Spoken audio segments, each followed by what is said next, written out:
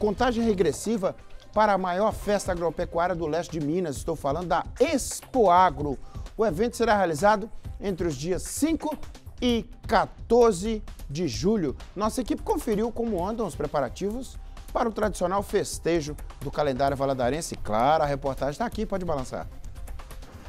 Equipes estão em ritmo acelerado e levantam a estrutura para mais uma edição da Expo Agro no Parque de Exposições José Tavares Pereira, em Governador Valadares.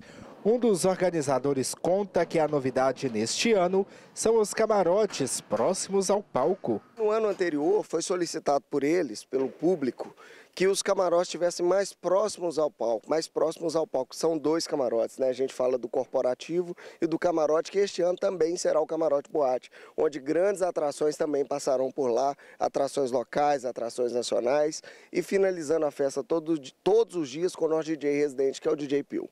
No espaço, o público poderá curtir vários shows. Felipe já adianta algumas atrações. Estarão no nosso palco principal grandes atrações, abrindo o primeiro dia com Vitor Léo, depois Ana Castela, teremos também a Noite Gospel, um dia gratuito aberto a toda a sociedade com o Alemão do Forró, que será na, na quinta-feira. Posteriormente teremos o Bel Marques fazendo uma noite, aí, uma memória ao GV Folia, e também teremos é, o Jorge Matheus para finalizar aí com chave de ouro o nosso palco principal da Expo Agro. A Expo Agro chega à 53ª edição e é realizada pela União Ruralista Rio Doce. É considerada o maior evento agropecuário do leste de Minas. A expectativa é que 300 mil pessoas passem por aqui durante os 10 dias.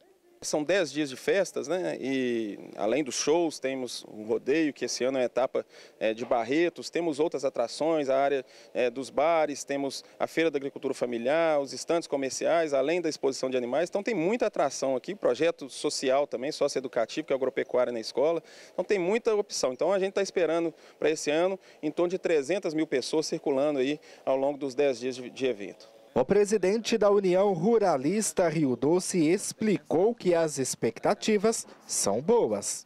Expectativas são as melhores possíveis, né? A gente está fazendo né, muitas novidades, trazendo muitas novidades.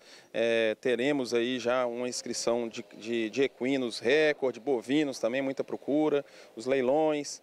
Né? Então a gente está com uma expectativa muito positiva aí para a gente, mais uma vez, é, é, mostrar aqui uma vitrine daquilo que é feito lá na, nas propriedades né, do, de cada produtor.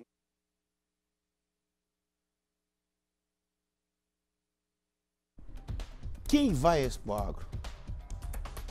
Você vai? Você vai? Que dia que nós vamos. Mas por que você não vai? Maior festa do interior. Que dia que você vai, Bebiano, da semana? Hã? vai no quinta, que é free, 0800. É, é, é duro mexer, viu?